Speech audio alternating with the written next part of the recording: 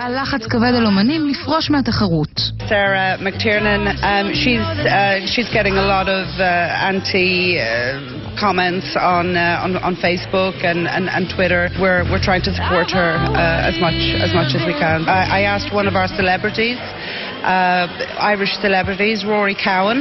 Um, he's an actor and, and comedian. I asked him if he would do a video uh, just uh, giving his support. The girl is representing Ireland. She's representing her own country. She's not representing Israel. She's not representing any other country. She's representing Ireland. We always get behind people who represent Ireland, and we need to get behind her as well. The UK is the is the capital of the BDS movement. There's no doubt about it. It's a battle. It's a big battle. Their social media footprint is four times as big as the pro-Israel social media footprint. So digitally, we're becoming better. We're becoming more innovative. We're working more closely together. It's about the delegitimization that we have to fight.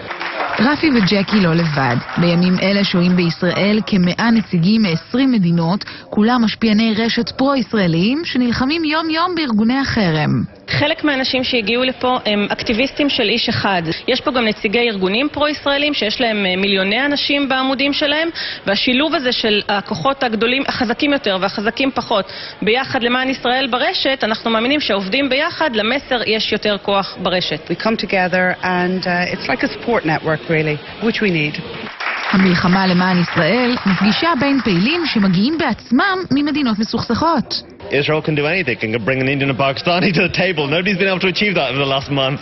Um, but it is, you know, with there's commonalities and we have the same goals and aspirations. You want a better future. You want to see the countries of your origin prosper. And ultimately, when you drill down at the human level, we have more similarities and differences. בין המשתתפים בכנס יש מי שכבר קיבלו איומים על חייהם בעקבות התמיכה בישראל, כאלה שרואים עצמם שותפים לגורלנו, וגם כאלה שהחלו את דרכם מכיוון הפוך לגמרי. I used to be anti-Semitic and anti-Israel. I was an anti-Israel activist. I came to Israel, completely changed my view. Once this get accepted with the Jews, tomorrow Hindu businesses will be target.